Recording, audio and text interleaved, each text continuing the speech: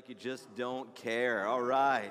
All right. Excellent. Excellent. Jenny, tell us some things why you love our church, both this campus as well as our North Campus. Um, I love I love the people. Honestly, like you guys are family, and if you haven't been coming here long enough to realize that we are one big family, that's what we are. And so you guys are what makes it so precious here, just in the love of Jesus Christ. I love this guy over here. I'm pretty happy he's our pastor. Um, I love that we have a, that we have that we have a pastor who fiercely guards his sheep, his flock.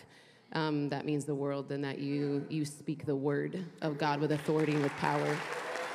And so that's that's another reason. I know No, not about me. I'm going rogue. Sorry. Um, um, but no, the, the people is the people are what makes it here, um, just in the presence of the Lord. I love that we have a North and a South campus combined as one. Um, if you haven't visited North before, please do, because they are just as much of a family, part of this family as this big group here, and we're all together.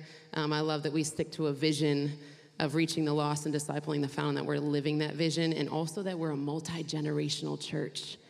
We have infants all the way up to, I- I'm not going to ask who's the oldest here, but we have every generation present at Freedom Church, and every generation is so important in raising up the next generation, and you still have a message no matter what generation you are. So I love that. Amen. Amen. Well, it's our pleasure this morning to share with you some vision going forward in this season for the church. And, and we do this about twice a year. We do it in the fall time, right now. We also like to do it in January as well. Scripture says in Proverbs 29 18, where there is no vision, the people perish. But he that keeps the law, happy is he. See, there's plenty of things in life that you don't want to do. But there's one thing that you really, really, really don't want to do. And what is that? Perish. None of us want to perish, right? You just don't want to. It's not, not a fun day, right? Nobody wants to perish. The, the word actually means to let go. And not in a surrendering way, by the way, but in a careless kind of way. The idea is that you cast off restraint in your life, and ultimately, you take yourself outside the covering of God, meaning you step outside of His authority and His care for your life by doing it your own way when you start to live without any vision. Because the visionary for all of us and the vision for our lives, for all of humanity, should be God. But often we turn to other things. And when we turn to other things, you ultimately perish. Your quality of life, your spiritual, physical, mental, even emotional life, they begin to fade away. I would say vision is extremely important in life. And if you don't, if you don't have vision for your life, it's time to go get it. Amen. We're talking about this vision in the last week of this series, Go Get It. And listen, we have five sensory inputs. What are those, Jenny? What are five sensory inputs? This is a science question? Yes. Okay. You're a nurse. Um, our eyes. Eyes. I like those glasses. You like PC and glasses? All right. Solid enough of me. All right. Just Our ears. Our ears. ears, Um, touch. touch, Um, our tongue, tasting. Taste. And, oh, sniffing. sniffing. All right. All right. Hopefully those are all in good order for us. Okay. But out of these five, guess which one contributes to 80% of your brain learning or gaining knowledge? Uh, I wish it was the mouth, but actually your eyes. It's your eyes, vision. That's right. What you see transfers to what you know. And this fact led to A.M. Skeffington, a, a- a renowned optometrist, to, to say if a person cannot see 100%, they cannot be 100%. You see, the brain or your core processing system and all of its synapses with it are constantly communicating and deciphering not only our own movements, but also what is right in front of you so that you can adapt and kind of respond to the environment and the atmosphere of which you are placed in and perceiving your surroundings. Vision, it keeps you safe, it keeps you moving, it keeps you focused on the target because it's really, really easy to get out of focus and start going after wrong vision in your life. And to be quite honest, we're living this way right now, even in our nation really, if we want to be honest, there's really a, lack of genuine, healthy vision, and we see some things perishing in our nation. There's a lack of righteousness and a godliness, a lack of accountability, which only leads to the greater fraying of the fabric of society. And, church, we can't be on the sidelines, we can't be spectators. Now's not the time to, to sit down, it's the time to stand up. Stand up for righteousness and bring light into darkness and, and the confusion that's out there. That's how we're called to live as the church. Amen. It's time to stand up. Time to stand up for the sacredness of life and, and family. It's time to stand up against greed and corruption. It's time to, to stand up against the ideological warfare that's actually coming against the Judeo Christian values of this nation. It's time for the church to humble herself, though, and pray and seek the face of God turning from our own wickedness so that He would heal our land. It's time to have a vision for the kingdom of Jesus Christ beyond just coming to church on a Sunday. Can I get a big amen for that? Listen, the word for church in the New Testament is ecclesia, which means the called out ones. We're called out of the world by God to be different in how we live in relationship to Jesus. And yet at the same time, we're called to go back into the world to share the hope of the gospel of Jesus Christ. Either way, we're to be a people that never loses sight of the vision of Jesus. And that is this to go into all the world and proclaim the gospel to the whole creation. Whoever believes and is baptized will be saved, and whoever does not believe will be condemned. That's what Jesus said. Jesus' vision is the world. And so that's got to be our vision too to share the gospel to everyone everywhere. Not to not to browbeat not to not to not to just push it on there not, not to just bang people over the top of the heads with the gospel. No we're we're bringing the gospel of jesus christ. Is the best news ever that we can have a relationship with god again and he, he can fix that and we can have peace with him when we turn away from our own ways and turn to him Listen, Freedom Church, we know this. Freedom Church is on mission to what? To reach the lost and to disciple the found, right? I think we can do a little bit better than that. Ready? Freedom Church is on mission to reach, reach the, the lost and disciple, disciple the found. We're here to reach and to teach. These are the two pillars of the church that Jesus built on himself, the foundation to evangelize and to disciple. That's what we're called to do. We're called to reach people for Jesus and to teach people about Jesus. Teach them his instructions and all of his ways. That's what he's called us to do. These are our functions.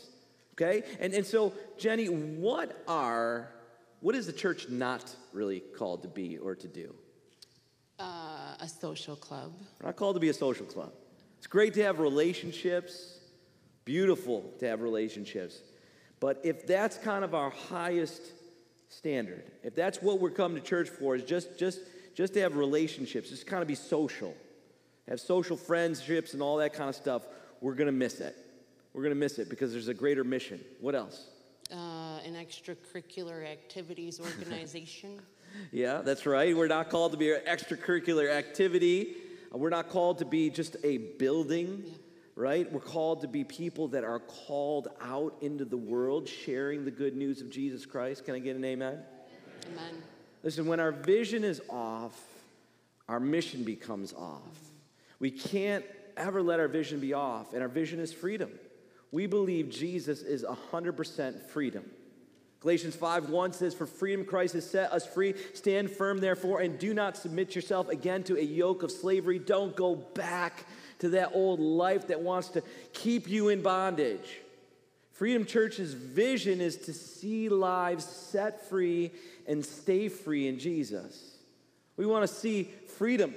We want to see transformational ministry, the transforming power of the Holy Spirit to change somebody's life There's a lot of things that we feel like in this world that, oh my goodness, look where things are at. Look, look, look at the state of humanity. Is anything, can anything change it? Yes, Jesus and his gospel and the power of the Holy Spirit. Come on, somebody. Amen.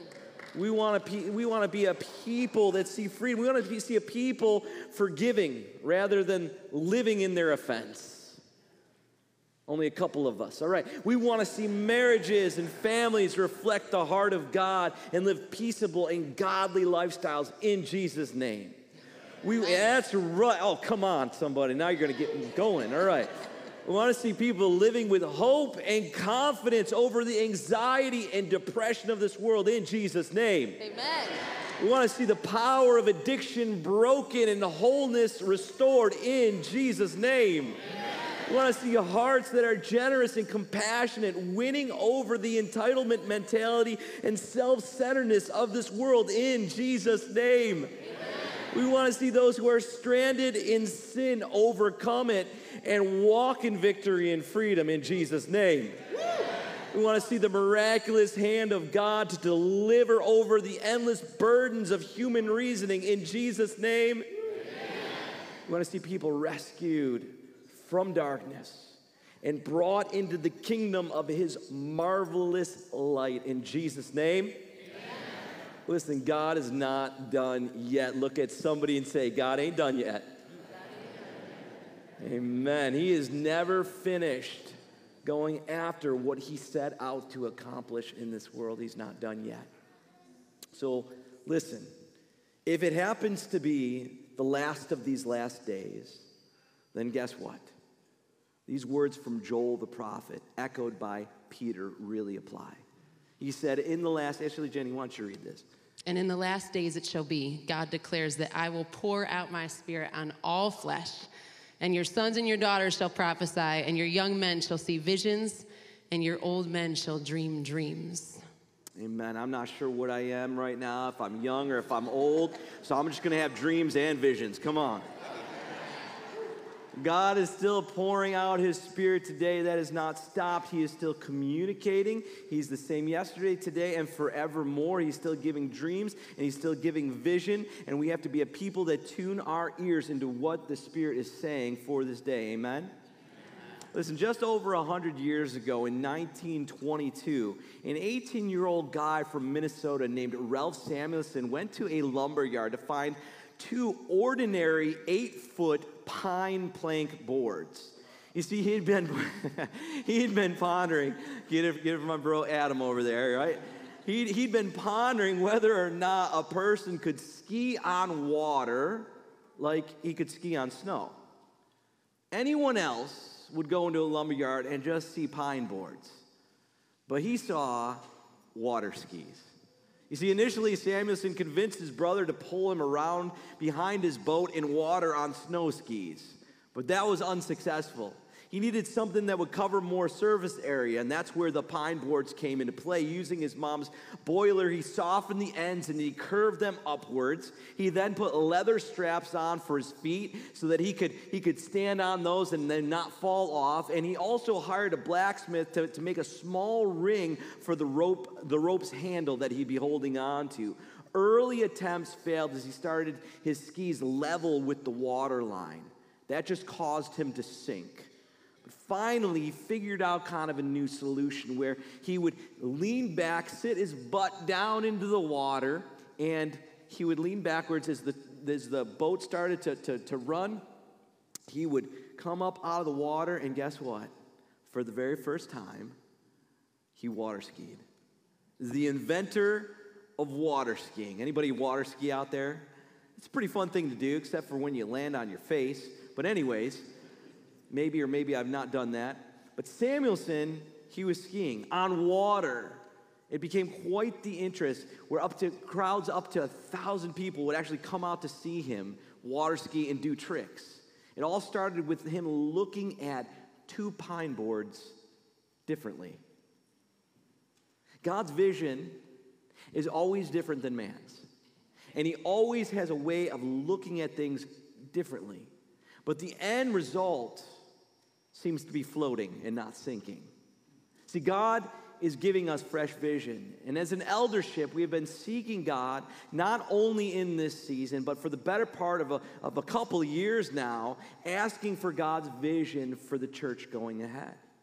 And we simply want to share what we, the elders, the staff, Jenny and I, believe God is speaking to us. We have a vision and we're dreaming dreams of what God wants to do. So let's start with our first dream. Dream number one is that of a greater reach into the world. And so, how are we doing that, Jenny? We're going to reshape our missions um, to have a local and a global impact, which we've been doing, but um, we want to make sure that we don't drift. We cannot drift from the call of Jesus Christ to go into all the world, preaching the good news and baptizing them in the name of the Father, the Son, and the Holy Spirit. We cannot get complacent in the comforts of these four walls because there's a lost and dying world out there. Um, we have a team that's been meeting regularly. Um, just recently, we formed and reforged a, a missions team. Uh, we've been gathering together to pray and to rebuild. We currently support as a church over 30 missionaries from local organizations to across that's that's huge across across the seas nationally and then globally. We've launched um, a new missions board in the lobby out there. So um, mike peacock mary um, schneider and bill honecker all worked very hard on handcrafting that missions board out there. Um, they're amazing people. Um, so you're going to be able to connect your eyes to the heart of where these missionaries serve. You're going to be able to see right where they are and also how we can we can serve? What can you do to be part of that mission? We're sending a team in January to Mexico. Who's on that team? Raise your hand. Who's on that team to Mexico? We're going to be sending a team to Mexico to help build a school and be an encouragement to missionaries that we support there, the Snyders. We've been supporting them for a very, very long time. And then next week, we have Alex and Jody joining us. Um, they lead something called the Gateway Project, which forms and plants apostolic teams in the most strategic cities on the planet. You're not going to want to miss them being here. Um, Jesus said that the fields are ready for the harvest. They're white. They, they are ready. They are so ready. There's people, and it's the people in the fields that are ready, right, to come to know Him. But has anybody just like opened up their front door ever and dinner just blew in through the door and was set right on the table? No. Nope, hasn't happened yet. Um, I'm not talking about like DoorDash. Like, I mean, that's nice, but it has to be harvested. The fields are ready, but they have to be harvested. We have to go. You have to talk to somebody. You have to tell them about Jesus and what he's done in your life because they are dying. You have to go and you have to share who Jesus is to you to this lost and dying world. We've got to move, we've got to be ready. So we are so excited to see the Holy Spirit build um, the momentum on this one. Amen. And and a couple just a couple things. This this just excites me. We we just we just signed on with uh, a, couple um, that actually uh, their base is in Poland.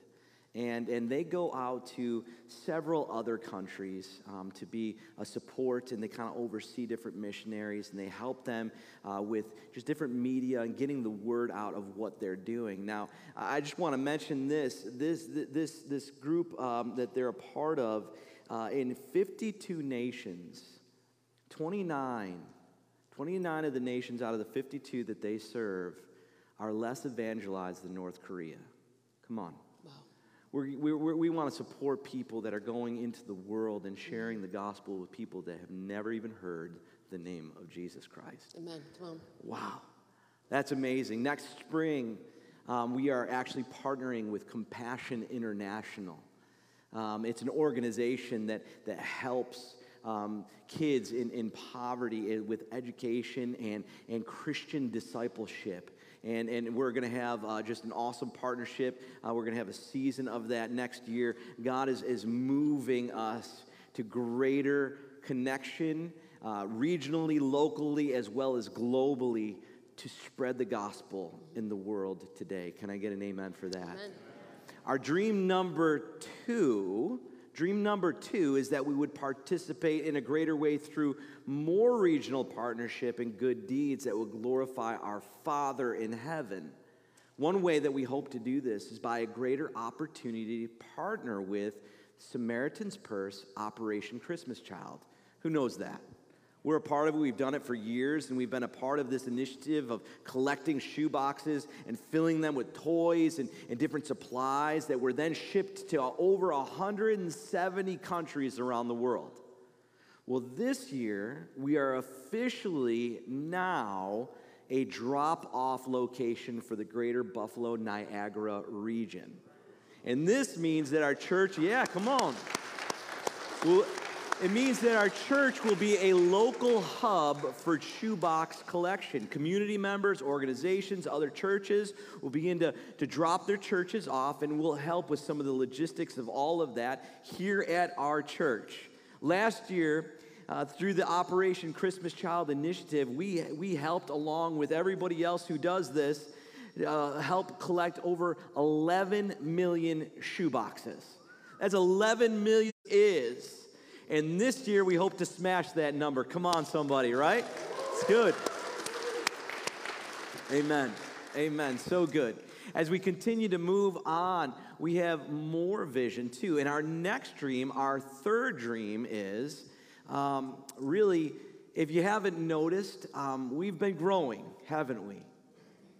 Would you, would you agree? Or you did kind of? Yeah. Praise God for that. Um, you know, it's really a blessing to see our North Campus grow too. Um, it, eh, that campus is, was pretty full itself this morning as well. And so, what that means is it's, it's a beautiful thing that, that God is, is, is growing our church and growing the mission, and we're able to reach more people for Jesus. That's like what we're trying to do. And so that also then also means that, that we've got to we got to figure out what we, we got to do with, with, with the growth. And so in 2025, we also are, are planning on uh, moving to another service as well so that we can, we can share the gospel and teach and reach in, in, in a greater way. So, can we give God praise for that as well? There's no doubt about it. Sometimes growth comes with challenges, and, and they're not bad challenges, but there's been many times in this sanctuary alone where it's been overpacked out there have been times where we've not been able to accommodate even those coming to our services.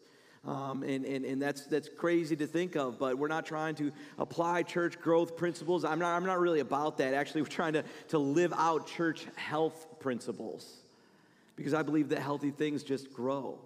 And, and our desire and our dream is that we are healthy disciples who make disciples. Church is not enough to come just to receive to receive a message, maybe receive a ministry. Oh, I want to come to church because I want to do this. Well, that's great, but how are you multiplying the kingdom of God? How are you doing that? It's not for the church and this building or us or eldership or the staff team or, or other people that, that are really plugged in just to, to do to, to, to grow the kingdom of God. It's all of our, our job. We want, we've got a message to give. And the last one that we want to share with you this morning, and this is something that we've been praying into for years actually, our fourth dream. It's a big dream. We have a dream to build what we're calling the Freedom Church Hope Center right out back here. Come on.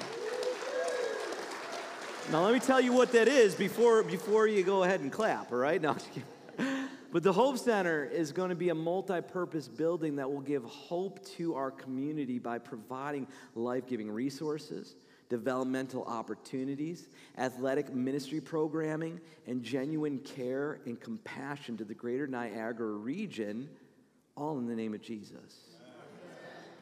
Listen, come on. It's all rooted and grounded in the gospel of Christ, and we want to be a church that cares for the one that's left on the side of the road. We want to be a church that helps to shape the young people of today into leaders of tomorrow. We want to be a church that provides opportunity for people to grow in character and leadership and teamwork through athletic programming.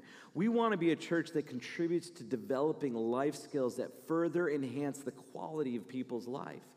We want to be a church that offers hope in these times that we live in.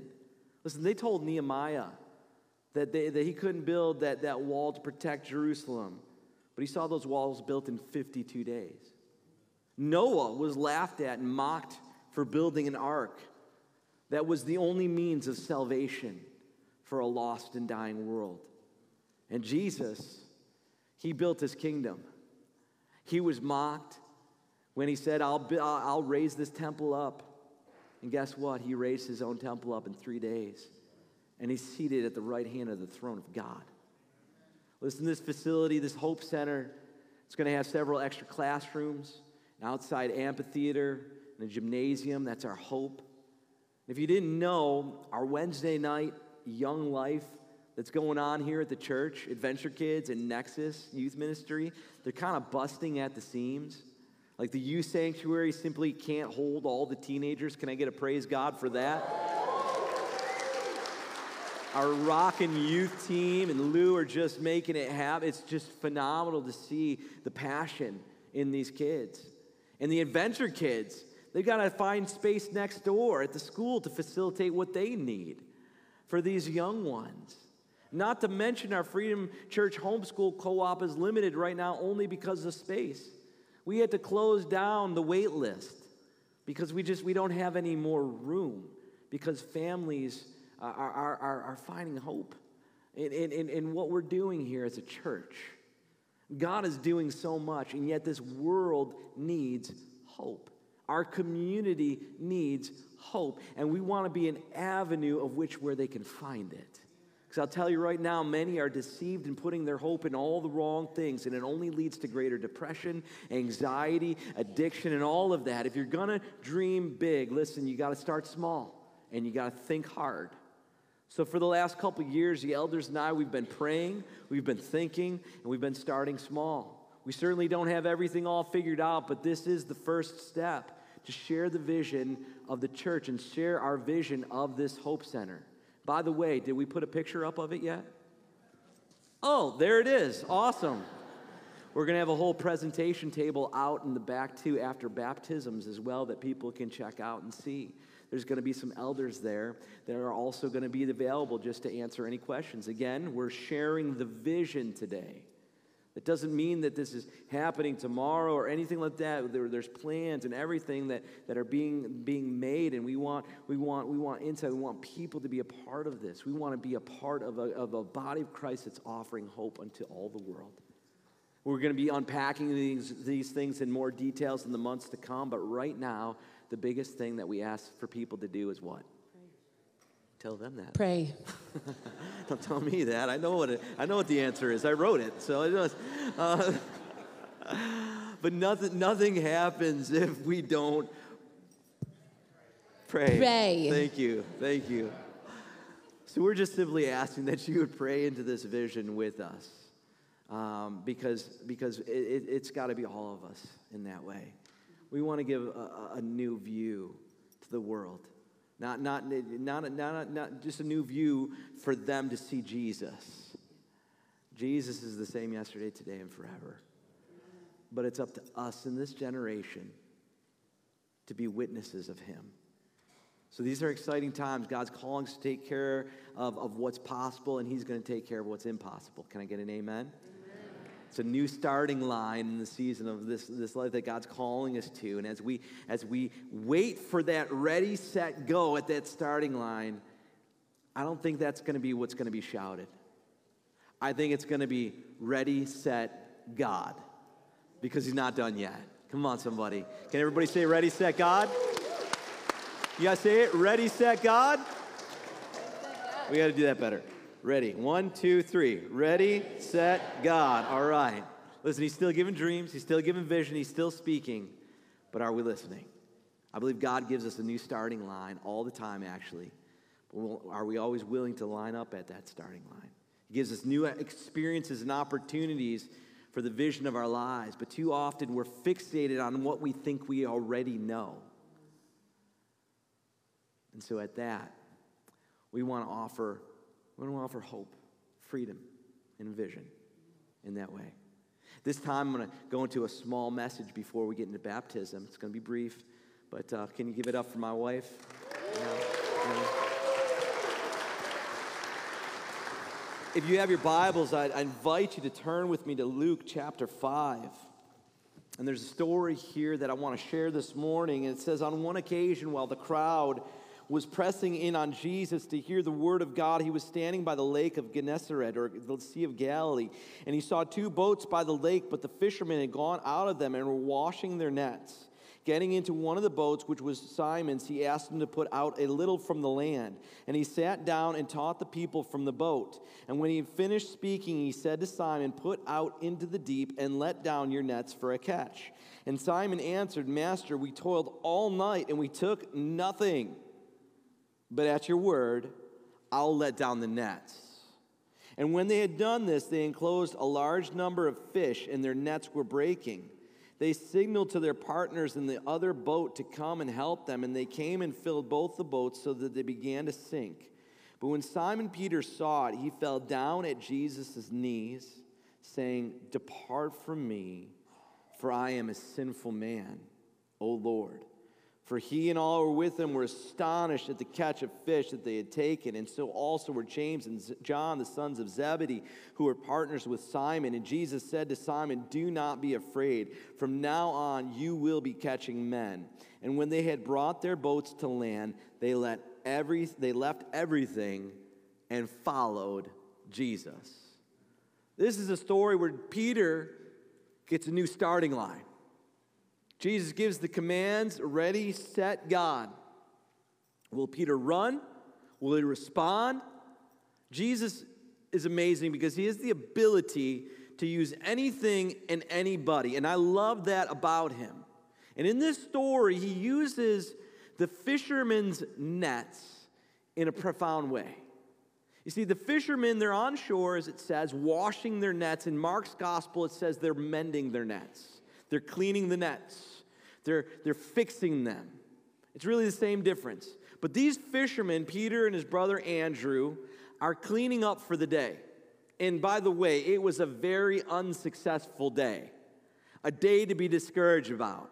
They got no fish, nothing, zero zilch. Has anybody had those types of days where you go, you put all the work in, and all you feel like, what did I even do today? You know what I'm saying? That's, those aren't fun days. And listen, sometimes those days, though, they, they accomplish nothing. But just maybe, in the days that feel like they accomplish nothing, maybe it's a day where God can accomplish anything. Notice what Peter and his brother did not do. After their unsuccessful day, where they were no doubt pretty discouraged about and probably sick and tired of fishing at this point, they did not leave their stuff dirty. They did not leave discouraged and depressed. No, they cleaned their nets. They repaired where their nets needed to be repaired. They didn't have the attitude, oh, I'll do it tomorrow. No, no, no. They, they did something.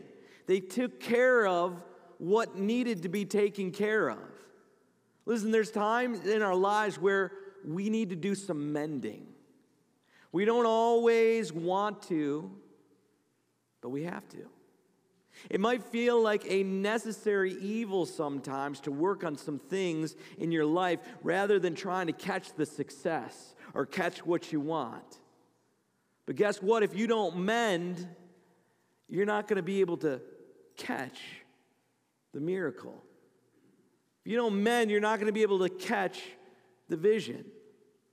So the reality is that those unproductive times of mending the nets will eventually lead to productive times of catching the fish.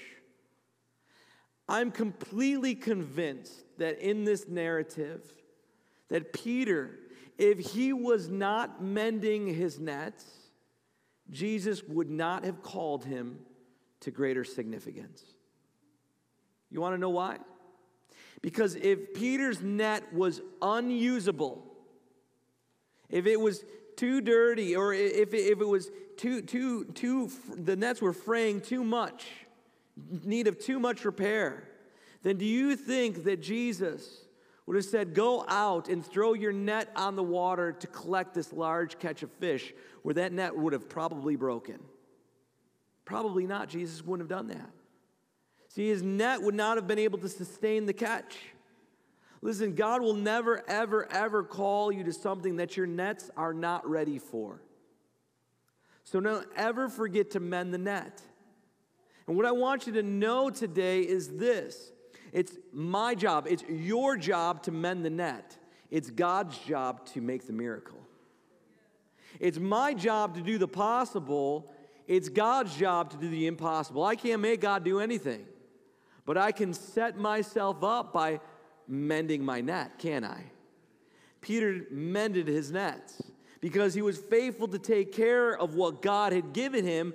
God gave him a greater opportunity. And I'm not talking about a greater catch of fish, I'm talking about a greater vision for his life.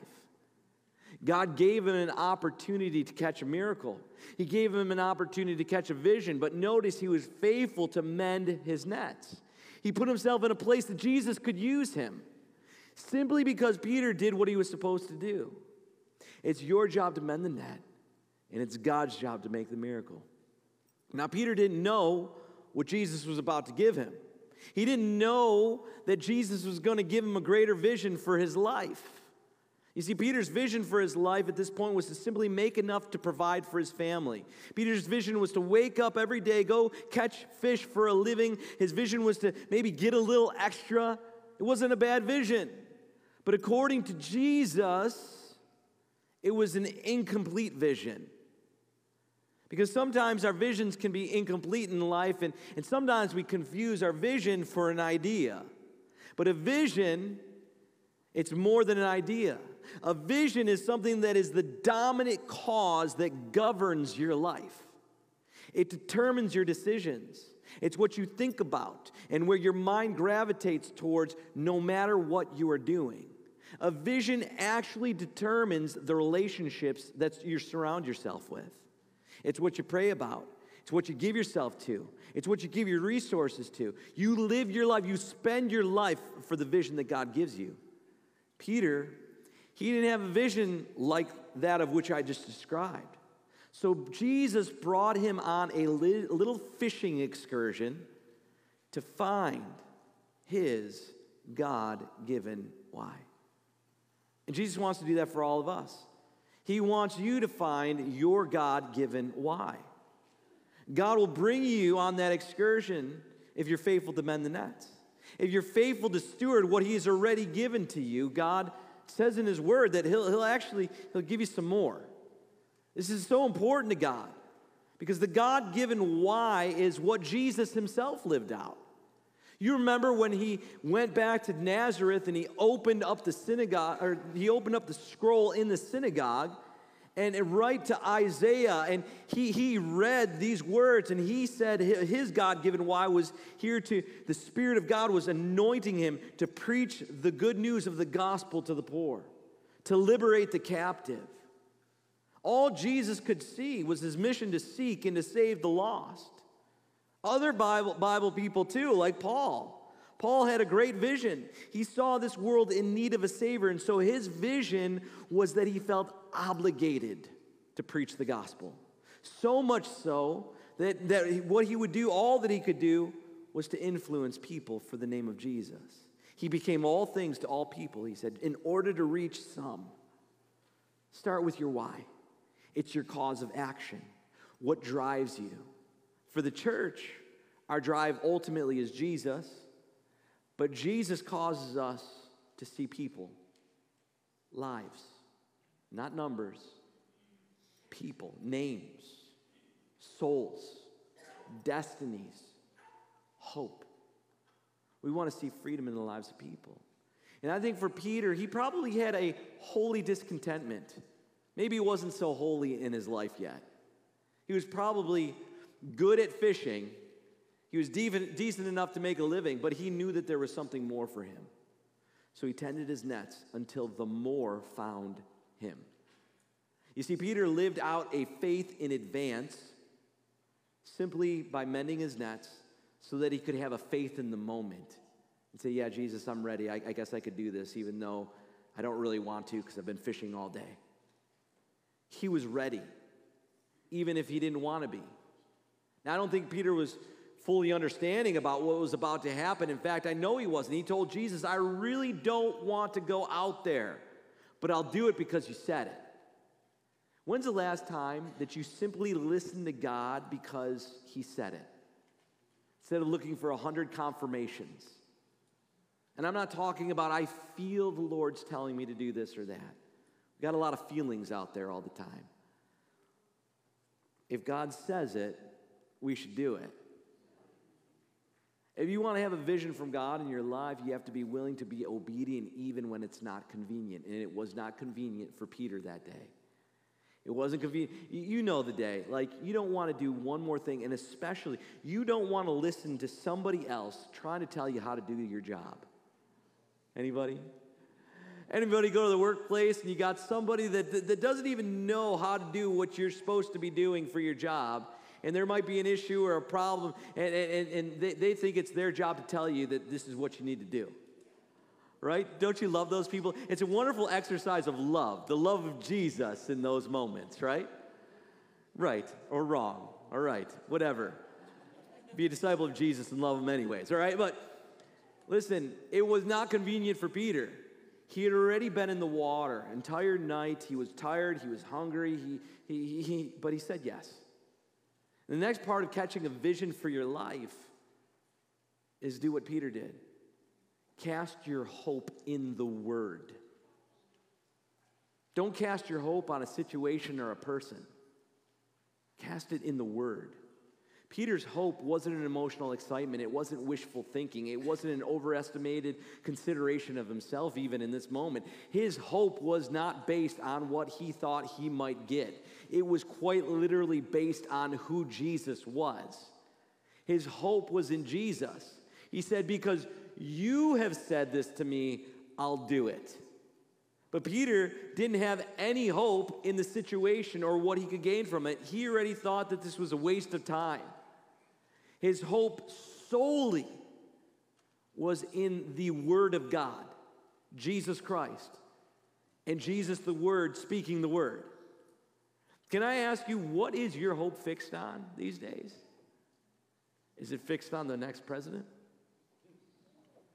Is it fixed on the government? Is it based on the economy? Let's get more personal. Is it based on a relationship? Is it based on your spouse? Or maybe even the dreams that you have for your kid?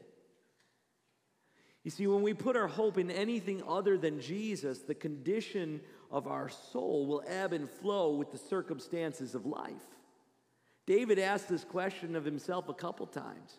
He said, Why are you cast down, O my soul, and why are you in turmoil within me? Hope in God, for I shall again praise him, my salvation and my God. Why was his soul downcast? It was because his hope wasn't being placed in God. He told himself to hope again in God. His soul was cast down and in turmoil because he placed his hope in other things. Maybe it was good things. Maybe it was in how successful he could be. Maybe his hope was placed in his financial accounts. I don't know. Maybe it was placed in a person that let him down. I don't know what his hope was exactly, but his hope was placed in the wrong spot. You got to put your hope back in the Word. Putting your hope anywhere else will only lead you to a life that perishes. It'll only lead you to the winds and the waves that'll bring you here and there. Hebrews 6:19 says, "We have this as a sure and steadfast anchor of the soul, a hope that enters into the inner place behind the curtain." A hope that is anchored in Christ is a life that will not drift away. An anchor was a symbol of hope in the ancient world. Why? Because when a storm came, the boat may go up and down on the waves, but it won't be able to be cast out to sea. And listen, you don't need an anchor when things are calm, only when things are rough. For Peter, things were pretty rough. No fish equal no business, no business equal no provision. But yet, hope himself gave him an opportunity for a new starting point. And what happened? Peter threw his mended nets over. And those nets that he had mended were now filling up with so much fish that he had to have his business partners come over with their boat. Peter mended, God miracled.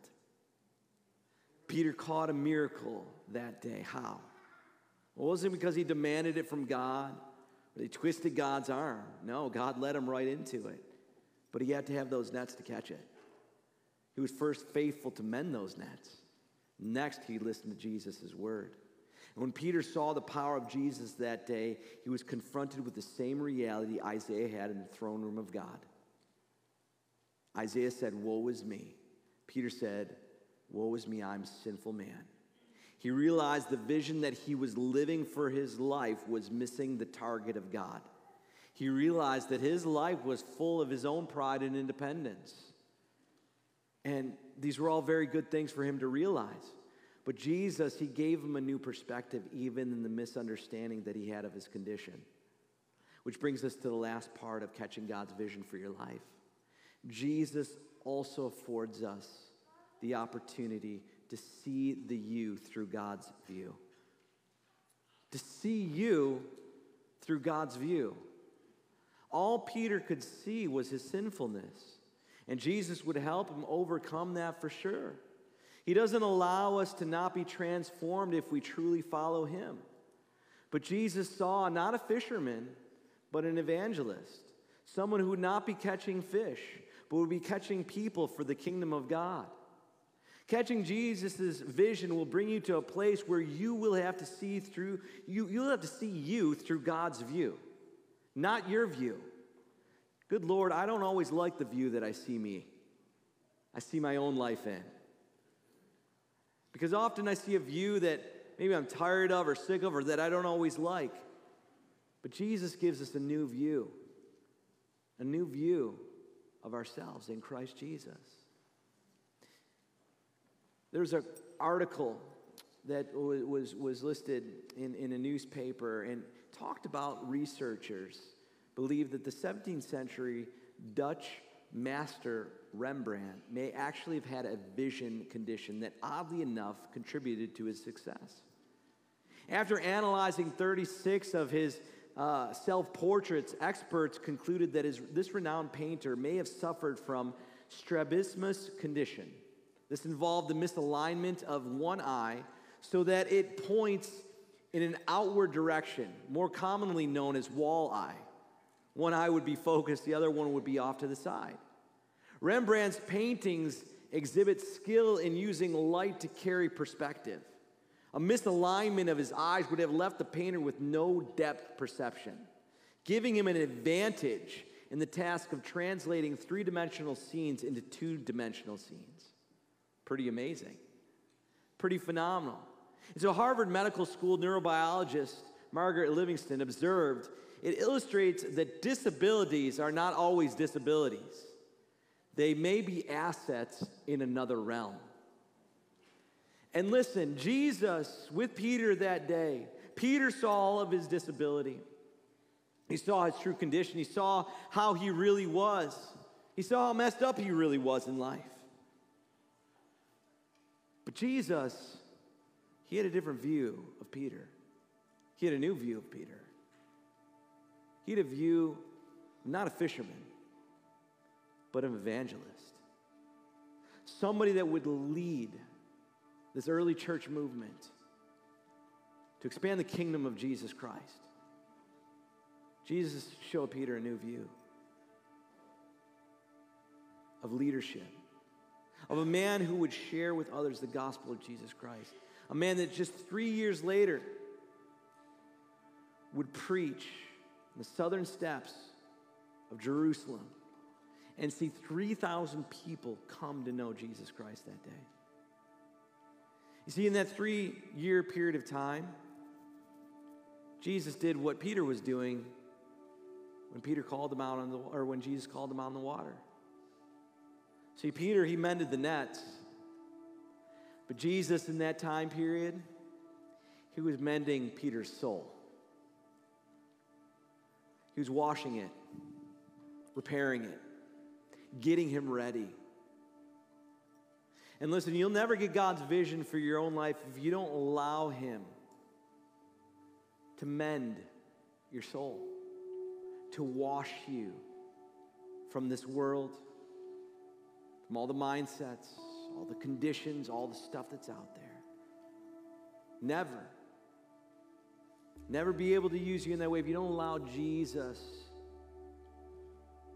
start mending in your life. God wants to do that. He wants us to be a church that allows Him to work and move and wash us clean so that we can be vessels put to good use. What the scriptures say. And so today, if you want to be that kind of vessel, if you want to be that kind of net that Jesus can use after he washes and mends, so that you have a vision to catch all that God has coming to you, I want you to stand just in faith today for a new vision in this place, a new vision for your life. And I just simply want to ask you to respond to God with the word yes. Yes, I will. Yes, I will give my life to you again. Yes, I will allow you to use my life as the net to bring people in for the glory of his name.